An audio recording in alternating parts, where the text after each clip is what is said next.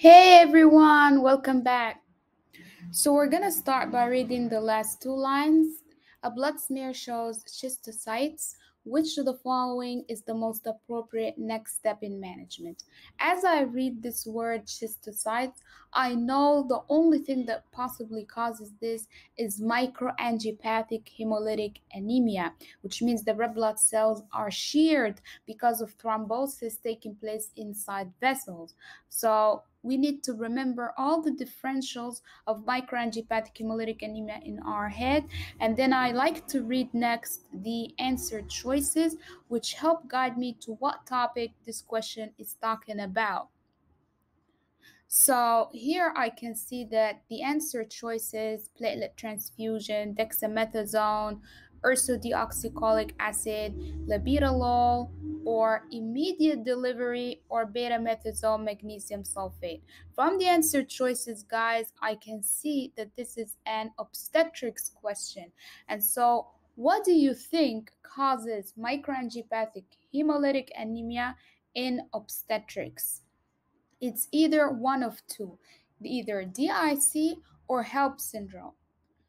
So let's see after that, read the investigations. So investigations here confirm that there is hemolysis taking place. Hemoglobin is low. There is anemia. This is hemolytic anemia. Platelet count is low. Bilirubin is very high. We do not know whether this is because of hemolysis or because of liver injury. What we can see here in front of us, guys, is high elevated liver enzymes. So hemolysis, low platelet count, elevated liver enzymes. What do you think this is? It must be HELLP syndrome. So we already diagnosed guys without even finishing or reading the vignette. So what's happening here is because of the thrombosis inside this woman, it's shearing the blood the red blood cells leading to hemolysis and anemia which increases total bilirubin. Plus, when this thrombosis happens in the vessels leading to the liver, it's gonna lead to ischemia and elevated liver enzymes. So let's start now reading the vignette. We've already reached the diagnosis, guys. However, our answer choice, which is the next step in management, will depend on this woman's gestational age. Now, even though HELLP syndrome is usually managed by immediate delivery, regardless of gestational age, if the mother is in distress, yet we can still conserve if the mother's case or status allows, if the baby is still eh, premature or before lung maturity. So let's see. Here is a 35 year old woman, gravida 1 para O, at 35 weeks gestation. Now I know the correct answer, guys, without finishing. If she's beyond fetal lung maturity, then yes, we're going to deliver her immediately. Now, all the rest of the vignette is just confirming, guys, our diagnosis and our management that we already know. So here she's complaining of abdominal pain, nausea, and vomiting, of course, because she's having hepatitis. Like there is eh, ischemic liver causes abdominal pain and vomiting. Vitals show hypertension because this is a variant of preeclampsia. Then examination reveals right upper quadrant tenderness consistent with liver injury, fundal height, which is a routine uh, examination in obstetrics 36, consistent with her weeks of gestation, as long as it's within two centimeters or two fingers.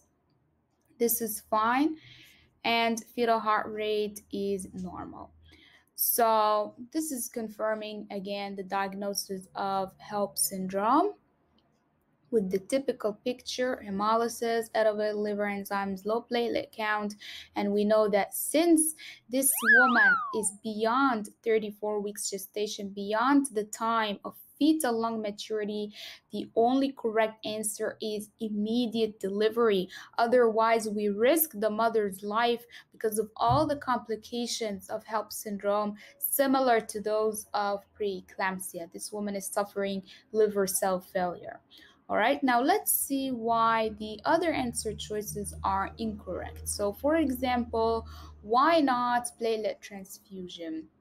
Number one the the platelet count this is like the low platelet count is not the only problem of HELLP syndrome right? It's just one of the problems because of consumption of platelets right? And the another problem is thrombosis that can take place in the liver, can take place in the brain, anywhere in her body, including the placenta, causing placental abruption and fetal death, right? So it's unwise to just give platelet transfusion and leave the woman like this, suffering liver cell failure. Plus, the threshold for platelet transfusion in someone who's bleeding is 50,000, below 50,000. If someone is not bleeding, below 20,000. In this woman, the platelet count was 60,000, which is above the threshold for platelet transfusion. So this is incorrect. Next, why not just give her dexamethasone? Remember, guys, the role of corticosteroids in obstetrics is to accelerate fetal lung maturity in someone or woman who's expected to deliver prematurely. However, we know that beyond 34 weeks gestation, the fetal lungs are already mature and there is no need to give corticosteroids. And of course, I'm not going to give dexamethasone and just wait and see this woman in such severe case. So this is another incorrect answer choice. Number three, ursodeoxycholic acid. Remember, guys, this is a bile acid which is usually given in conditions of intrahepatic cholestasis of pregnancy. But with intrahepatic cholestasis of pregnancy, there is no hemolysis. Essentially, it's only cholestasis. There is, yes, some elevation of liver enzymes, there's elevated bilirubin. However, it's not an emergency condition that we need immediate delivery.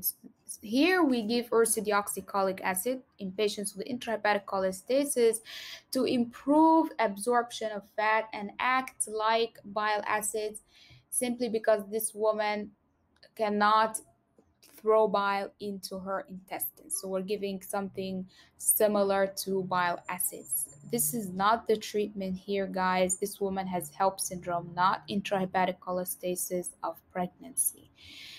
D says labetalol. Labetalol, guys, is the antihypertensive of choice in pregnancy in general, and especially with preeclampsia.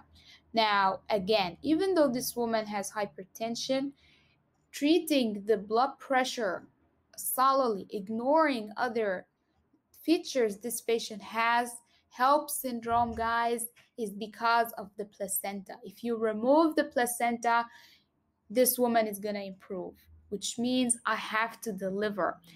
Simply giving symptomatic treatment, platelets for her low platelets, or antihypertensive for the high blood pressure, will not treat the condition. She's still in danger because of the thrombosis taking place inside her vessels. Giving an antihypertensive is only symptomatic management.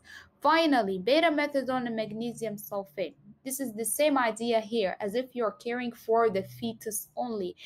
Betamethasone is given to accelerate lung maturity only if the baby is below 34 weeks gestation, and magnesium sulfate is a neuroprotective agent given for premature babies expected to be delivered below 32 weeks gestation.